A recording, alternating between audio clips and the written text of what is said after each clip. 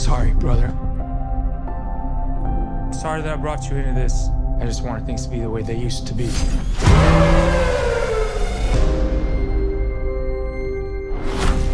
That's my brother, Will. I could use some help. My wife needs this surgery. This is real life. How's that right? You put your life down on the line for this country? You leave your family, your home? How much do you need? 231. How about more? 32 million. I need an extra man. I came to you for a loan. Look, have I ever gotten you anything that I couldn't get you out of? It's time for you to do something for your family.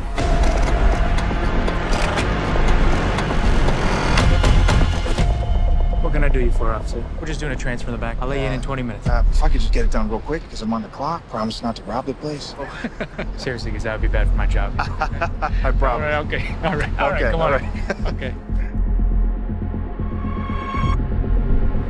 Let's go, D. You are all gonna have the greatest story to tell at dinner tonight. Get out!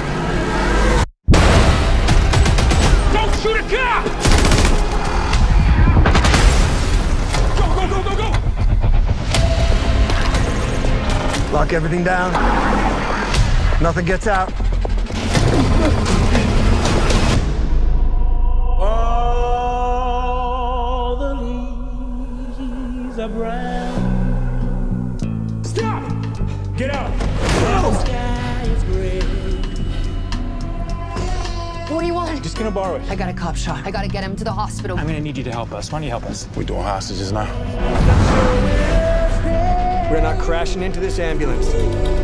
We got a brother cop on board. Do you have EMT experience? Combat triage. You're a soldier. Yeah. We are trying to save you. One, two.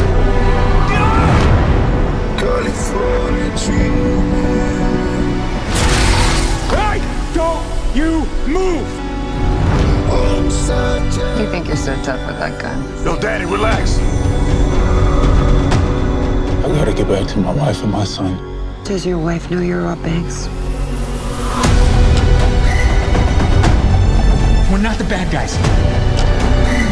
We're just the guys trying to get home. We don't get to walk off into the sunset.